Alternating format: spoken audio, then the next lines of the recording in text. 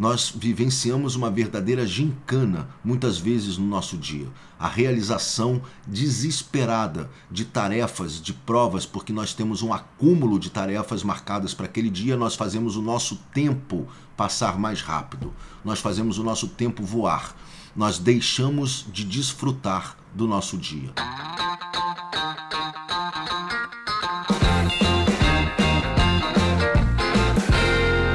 Nos atolamos de serviço, de coisas, de tarefas, seja no âmbito pessoal, seja no âmbito profissional, seja de coisas que nós gostaríamos de fazer para nós mesmos, quando nós atochamos de itens a nossa querida agenda do dia, quando nós estamos envolvidos num verdadeiro, uma verdadeira tsunami de coisas para serem feitas é, no trabalho, na vida pessoal, e nós temos que fazer isso, nós temos que fazer aquilo, nós começamos a nos entupir de coisas para fazer, nós estamos entrando em desarmonia com o tempo natural das coisas, com o tempo que as coisas têm que acontecer.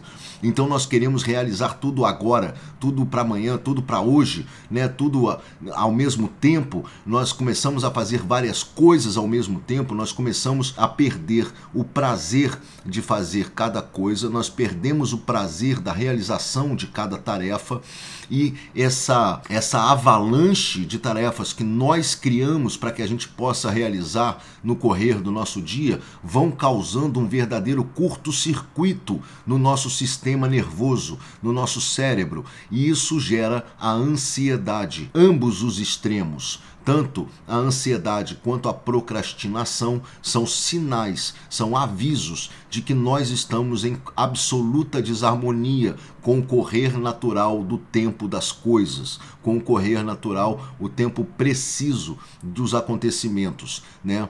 Então o que que acontece? Quando nós nos harmonizamos com a batida perfeita do tempo das coisas, ou seja, quando nós temos o entendimento, a impressão, o sentimento de que um dia correu de uma forma natural, nem tão rápido e nem tão devagar, né? Nós entramos no ritmo perfeito do, dos acontecimentos. Nós entramos nessa harmonia temporal as coisas têm um tempo para acontecer. Nós vivenciamos uma verdadeira gincana muitas vezes no nosso dia.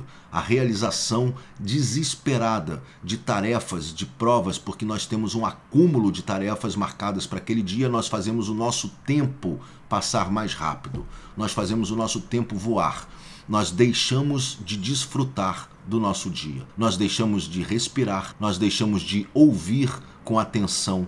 Nós deixamos de sentir as emoções que porventura possam nos atingir no correr de um dia, nós deixamos de enxergar com melhor atenção as coisas que estão à nossa volta, nós nos fechamos e vamos realizar as tarefas o mais rápido possível porque nós temos muita coisa para fazer naquele dia.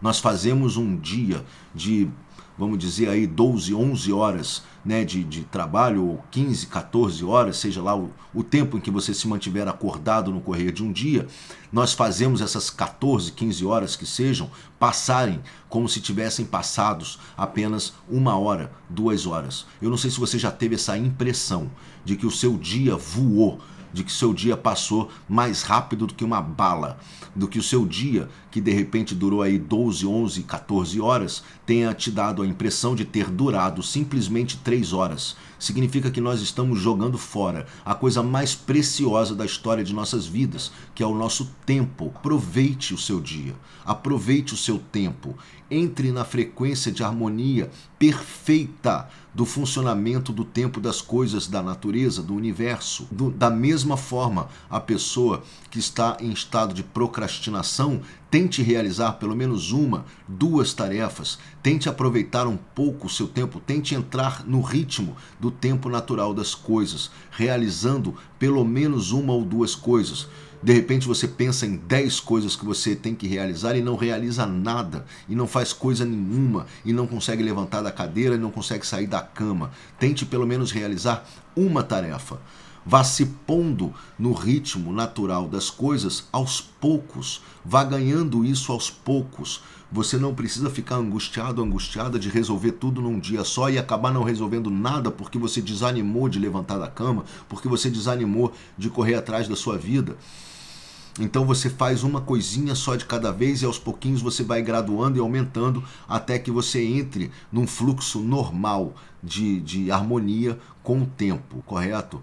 A gente sente quando nós estamos em harmonia com o tempo. O nosso tempo nem passa muito rápido, nem passa muito devagar. A gente sente, o corpo biológico da gente sente quando nós estamos em harmonia de funcionamento, em harmonia de integração com o tempo das coisas, tanto da, da natureza quanto do universo.